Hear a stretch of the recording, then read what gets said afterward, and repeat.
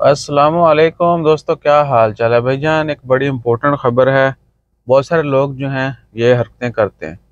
बेशक वो शरारत समझ के करें या मजबूरी समझ के, लेकिन अगर आप कहीं पब्लिक प्लेस पर पेशाब करते हुए पकड़े गए, ठीक है, या कूड़ा क्रिकेट फेंकते हुए पकड़े गए, यानी जंगल पानी करें, मूत्र विसर्जन करें या कूड़ा क्रिकेट फेंकते हुए पकड़े गए तो सख्त सज़ा है। और ये जंगल पानी की सज़ा जो है वो तीन महीने जेल है, जबकि तीन सौ रियाल जुर्माना। तो ये गैर अखलाकी हरकत जो है, किसी भी पब्लिक प्लेस के ऊपर मत करें।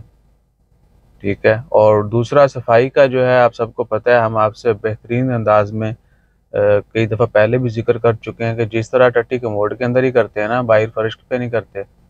तो वैसे ही ये चीज़ें भी डेजिनेटेड प्लेसेस पे ही करें। कूड़ा क्रिकेट जो है वो भी जहाँ फेंकने वाली जगह है, वहाँ फेंकें।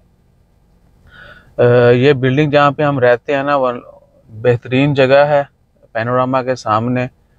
इधर हालाँकि बिल्डिंग के दोनों तरफ़, ठीक है, पाँचवें फ्लोर से बंदा नीचे आ जाता है और उतना ही सफ़र जो है, यानी वो लिफ्ट से आता है, उतना ही सफ़र पैदल, कितना होगा, पंद्रह सेकंड का सफ़र है डस्टबिन तक।